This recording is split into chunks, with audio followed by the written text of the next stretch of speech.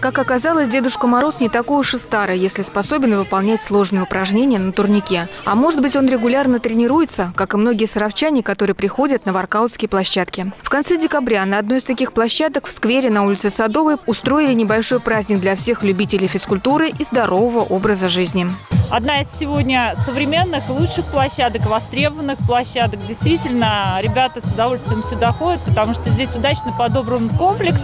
А, он подобран и для тех, кто э, готовится к выполнению нормативов ГТО, и к тем, кто систематически занимается физической культурой и спортом. Предновогодний праздник устроили для юных спортсменов, чтобы наградить активистов и вручить подарки участникам «Елки желаний». Настя Блажнова мечтала о коньках. Отправила письмо Деду Морозу, и за несколько дней до Нового года ее желание исполнилось. Я очень рада. Спасибо огромное. Легкие, яркие, с удобными застежками. Именно о таких Настя мечтала. Девочке нравится фигурное катание, она и сама с удовольствием выходит на лед.